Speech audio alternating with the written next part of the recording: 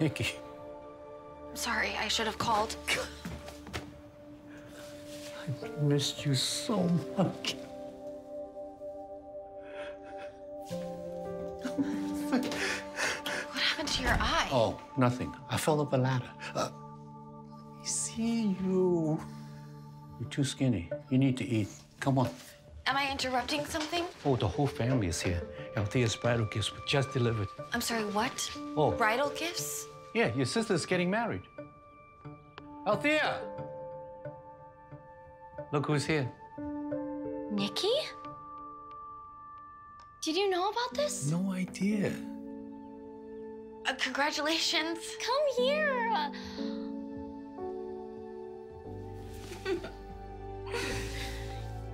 Look, you look amazing. Uh, Mom's pre-wedding regime. She has me on these Chinese herbs that taste like garbage. Oh my God, you haven't even seen this. Wow. That's massive. Yeah, you know the lucky groom. Dennis Soong. Dennis, come in here. The mathlete from high school? He's changed a little since then. Nicky? So good to see you. Yeah. Nice to see you too.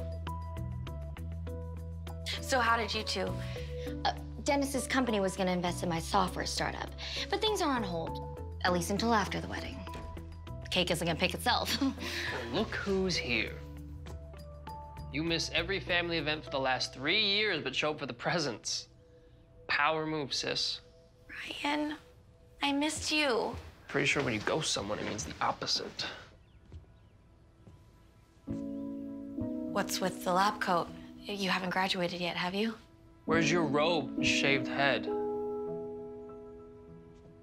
Thank God. I'd have to give her extensions for the wedding. You're just in time. We're picking a wedding date this weekend. Super low-key event. Just a fortune teller and 200 guests.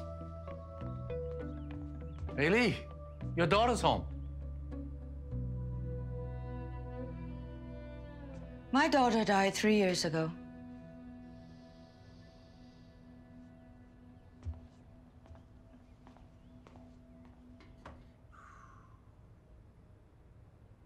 That honestly went better than I thought it would.